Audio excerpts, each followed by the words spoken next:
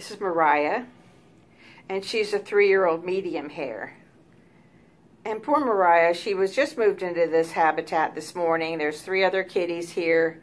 She's shy, she's shaking, she wants to be anywhere else, but she's hoping to be adopted soon. She's a very beautiful kitty and easy to handle. So she just needs to build some confidence, and I'm sure being in a new home will take her a little bit of time, but she's quite a love. This is Mariah.